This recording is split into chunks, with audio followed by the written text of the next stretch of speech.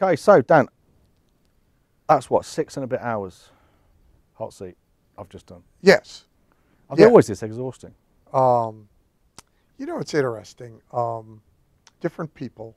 Well, first of all, of course, you traveled. Yeah, God knows, and you got in at two o'clock in the morning our time. something like that. That was something. But I had yesterday off. So yeah, but still. So for you, it's either yesterday or tomorrow or the middle of the night or whatever. But even so, Yeah, it is. I think that. So like you're staying tomorrow to work on what we did, which That's is the plan. commendable. It takes it serious. Uh, about half the clients do that. I mean, I, I have one client who comes in with his staff and they camp out the whole day before preparing, and they stay Yeah, the day after. pretty much. I Um. I think that it's tiring for both of us. It will hit me a couple hours from now um, because it is, at least for me, it is um, um, endorphin while you're doing it. Because I think that I find it much more interesting to be doing it spontaneously, working without the net. I mean, a little bit of prep with you because you prepared notes and sent them in. Some people don't. Uh, but so I really like the figuring out of the things. But about two hours from now, it will. I will realize I have actually expended a great deal of energy. I think for the part for the participant who has an elongated one.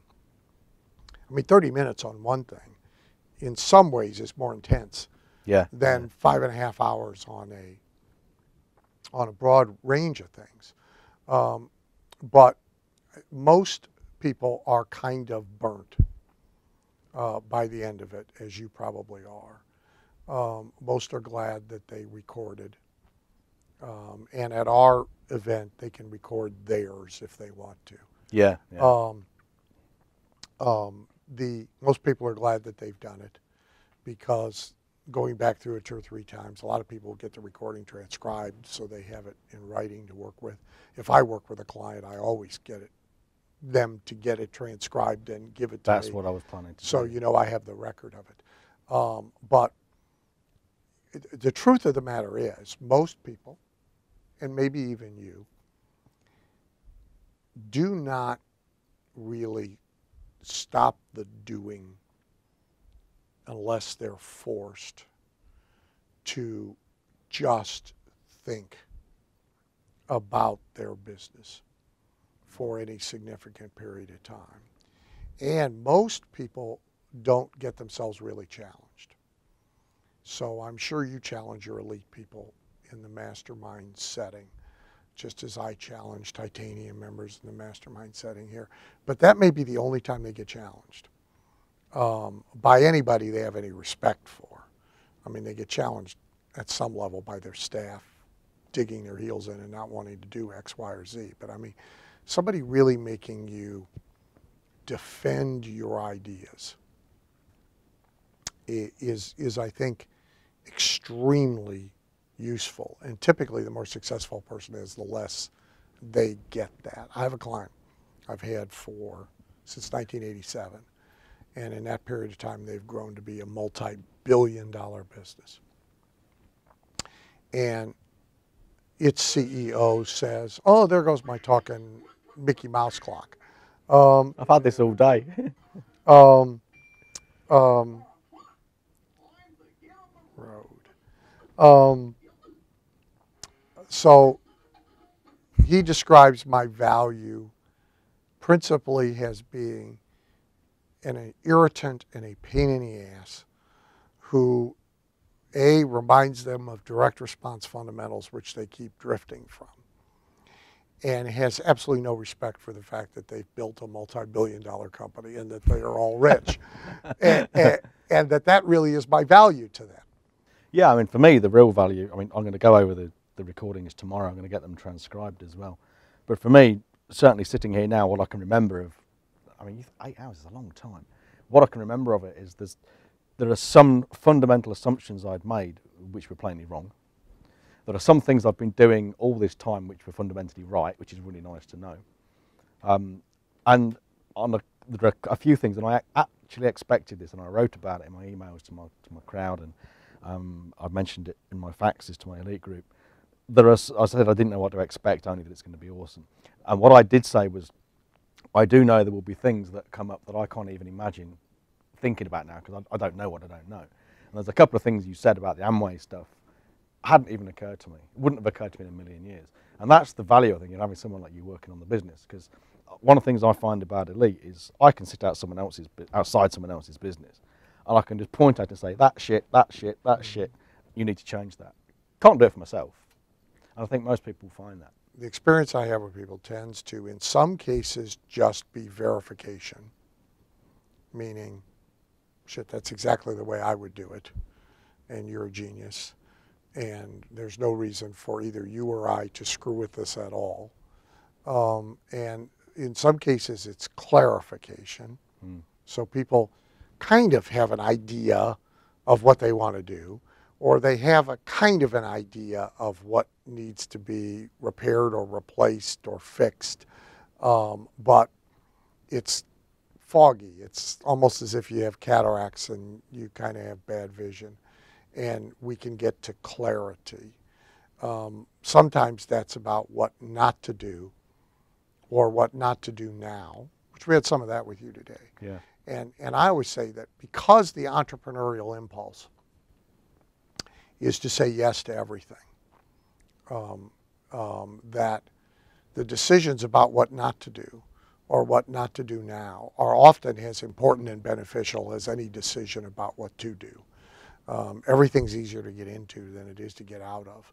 But, uh, but if, you're, if you're a true blue entrepreneur, your tendency is to jump into every opportunity um, and even to feel a little guilty about not, you know. And, and so some help with restraint um, and ranking is sometimes Yeah. useful. Uh, almost everybody, even in short, uh, I just did a hot seat meeting for a group of ortho- orthodontists. All very successful. 800,000 to $2 million a year practices.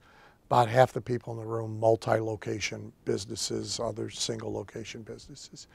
And um, um, there was everything from, and on average, 30 minutes.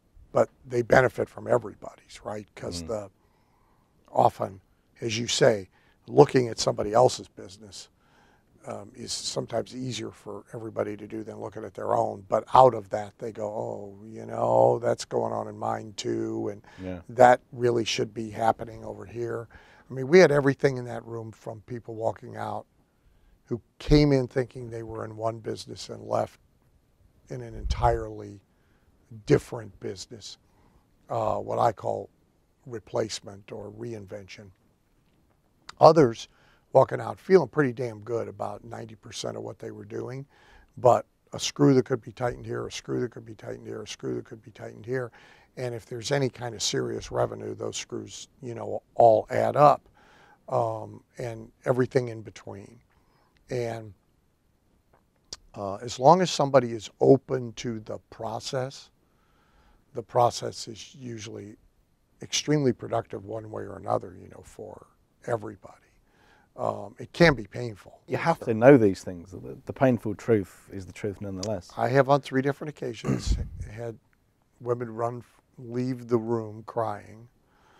Um, Yeah, we've had tears in Elite too. yeah, I don't try to do that, but um, uh, so it, you know it can be painful. And how long have you been doing this now? 40 I- years? Yeah, give or take. Um, I mean, I've been doing my things uh, advertising, marketing, direct marketing, consulting, strategy, um, copywriting. I've been doing those things. This will, next year will be my 42nd year. So you've probably seen just about everything that it's possible to see. The thing about advertising and marketing, which you know very well, is that the principles never change. No. right? What worked in 1800 works now. And really, if you don't have that historical foundation, if you don't know what is consistent, what is a principle, what really is a principle that is kind of inviolate. It is like gravity.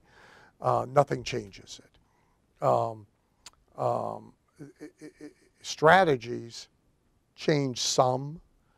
Uh, tactics change a lot, uh, mostly because we get new tools, we get new media, we get an ability to have more data.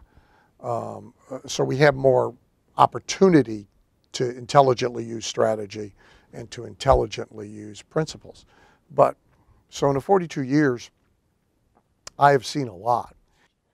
Uh, I've seen an awful lot of mistakes and an awful lot of things that get done over and over and over again, sometimes in the same damn business. Um, you deal with a big category of it, which is everything that falls under the umbrella of price stress strategy. I mean, most businesses, they have they haven't even really given any thought to it. They've just done whatever the hell everybody well, else. Most business businesses are price driven. They, they yeah. Knee jerk reaction is to cut prices, offer discounts. Yeah. And yeah, I yeah, just yeah. find it insane. And it's a very uh, incestuous process. I mean, they get in a business, so they open, I don't know, a pet store, and they look around at what everybody Yeah. else does in the pet store business, and they try to be a little cheaper. That's sort of usually That's price strategy, right? Uh, but people don't understand it. it. It goes hand in hand with positioning. It's there's presentation of price that's different than price, and so there's a huge number of price mistakes that are made. Um, uh, and more often than not, so I said to you off camera, and when you were doing copywriting, I'm sure the same thing was true. 90% of the clients, even though my clients are pretty smart and they've kind of been raised up in my environment and they've read my newsletters and they've read my, still, when a new client comes, they come usually wanting a new ad. I need a new, better ad. I need a new sales letter. I need a new website because I need new customers. I need new patients. I need new leads.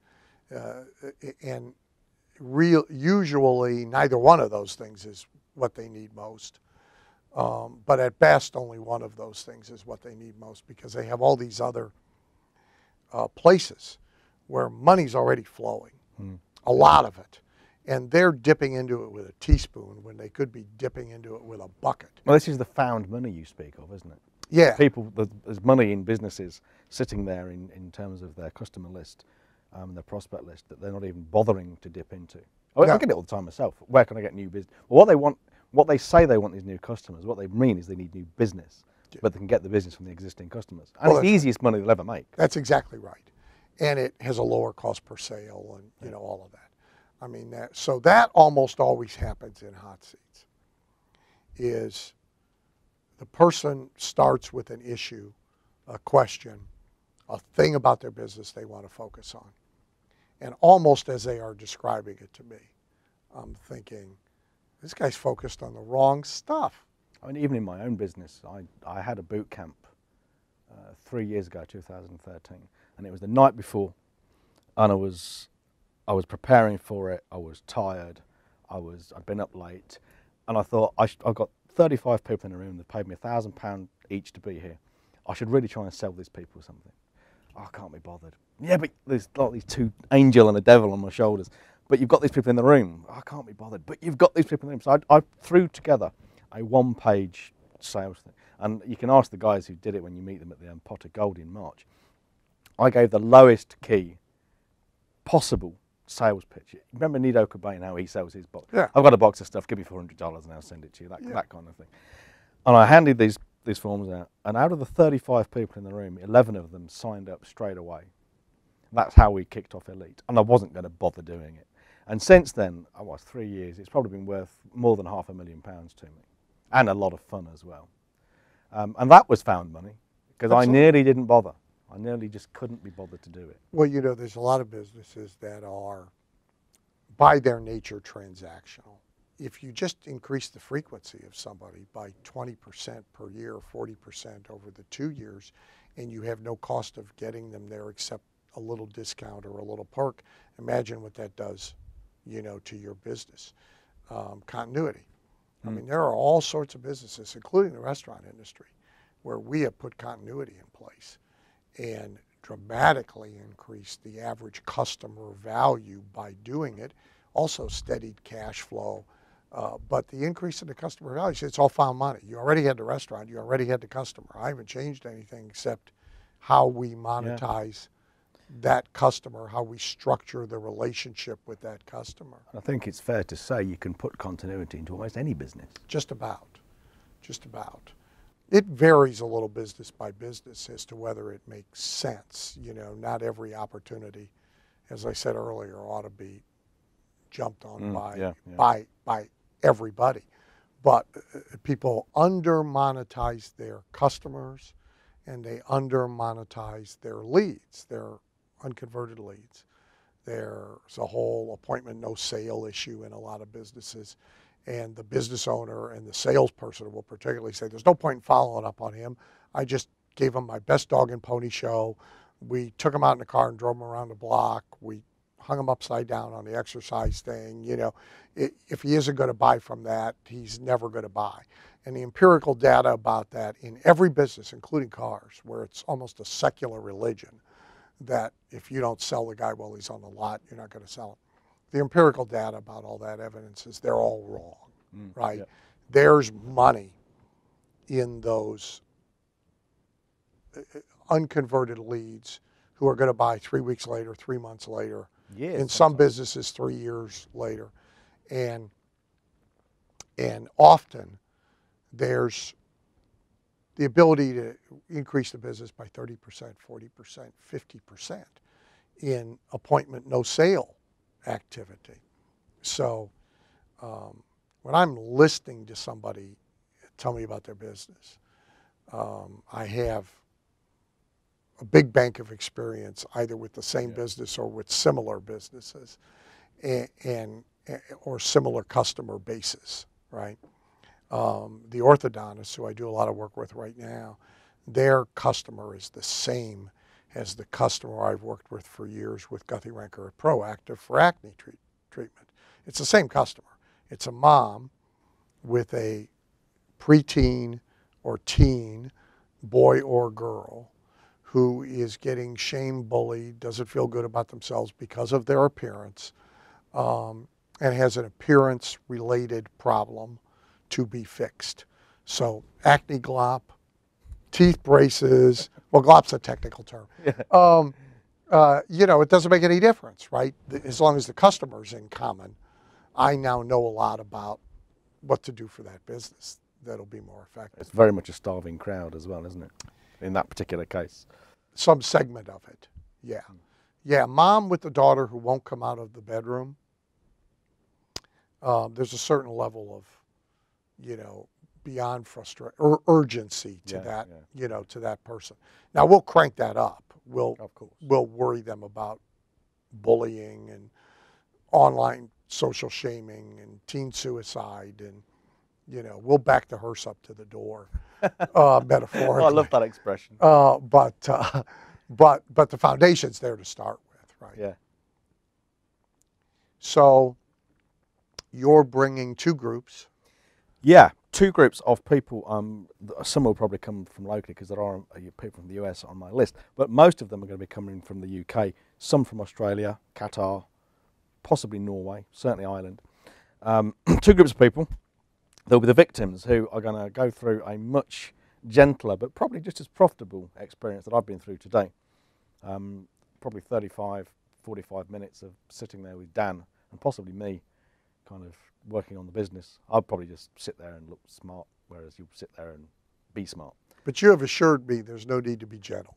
Oh no, no, no, no, no! I don't want you to be gentle. I can I'm be not at my- known for my gentleness. I can be at my most direct and obnoxious and That is what they're paying for. speediest. Yeah, They don't. They, they want it to be to be painful. The more painful it is, the better. Perfect. Because if, if it's painful, you're obviously hitting some very, very Yep. sensitive truths. But that's the first group of people with the hot seats. The second group is people who are going to just sit and watch everybody else. Now, I must must kind of stress. You know there is an ancient whorehouse joke about that. That I didn't. But you don't know the hear joke. It. No, no, no. You're not going to hear it. okay, tell me. off You're not going to hear it. I'll tell you off, off But I, camera. I do know but that that's um, not a new idea. although although people can't they can record their own hot seats. You're not going to record anybody else's. If I No. find anybody doing that, I'll break their leg. Yeah, we'll archive it, but Yeah. it will never be used. No, nor should it be. No. And I think people should also be prepared to respect the privacy of others when they, you know, don't talk about it Yeah, outside the group right. itself. But yes, the two groups of people, victims and voyeurs, as we call them. I think anyone who's got the opportunity to come along, if they don't, they're mad. I mean, it speaks volumes that we've got ten. I think it's ten victims already, and all but one are in my elite group. So they know me, they know you as well. They know what they can be in, what they to it, they know what to expect, probably, or to some extent. To some extent. yeah, they, they've been told that this is not going to be pleasant. If you think I'm tough in a hot seat, you wait till you hear Dan. Um, and it's, I think it's very telling that we've got 10 of them have signed up. Well, nine of them, all but one is from my elite group. So they know what they're in for. Mhm. So I think anybody, anybody listening to us talking now, having any kind of doubts, and I think there are 10 people who've have done this, signed up for it already, having been with me for years already, um, I think there's a message there. A very powerful one, a scary one, Yeah. We'll have a lot of fun. I mean, we'll have a Oh, lot of fun. without doubt. Without doubt. Um, uh, but the object is for somebody to walk away with three or four or five really actionable things. I that- think that's that um, a given. you know that either makes a monetary difference or it makes a um, a quality of business life Yeah. difference. I mean, I'm a big autonomy guy, as you are, and um, you know you've been here all day and the phone has rung once, Yep. and no that was not long ago. and no faxes come in, and there's been no interruptions or disturbances, and other than days when phone calls are scheduled, that's exactly what it's like around here. Um, uh, and it's not because there's not a lot going on; it's because it's being well controlled and access is being well controlled. And um, my own business is really done at my convenience and by my access roles. And so sometimes people, we don't necessarily need to raise their income, but we can raise their quality of business life Yeah. uh, by what we discover um, and by strategies I'm able to prescribe, examples I'm able to give them. Because in many cases, people, um, I don't remember now which writer it was, Oscar Wilde maybe, or James Thurber, who said, I've discovered that I really don't like writing, but I'm so famous now I can't quit.